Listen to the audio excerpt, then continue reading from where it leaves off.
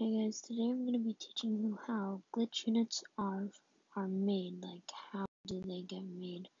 So, they mainly get made when you time stop before they get, like, I'm, look, first let me tell you what a glitch unit is.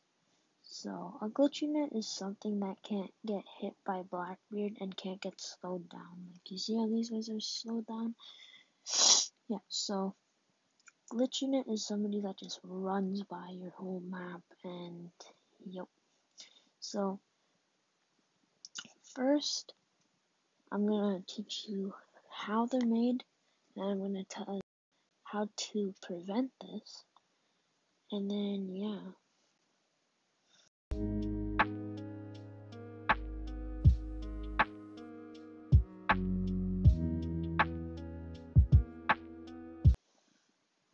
Anyways, um yeah, here's an example.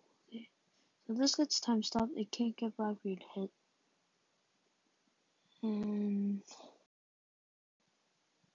and then see see they just go right through right through like nothing ever happened.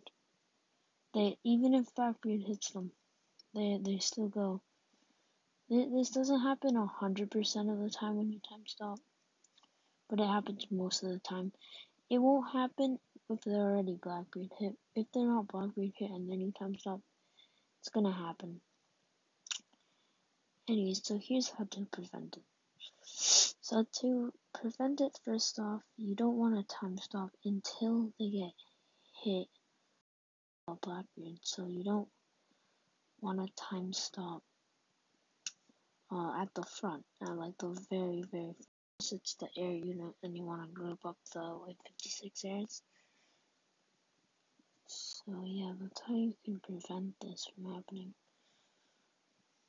I'm gonna sell everything because it's wave 40 and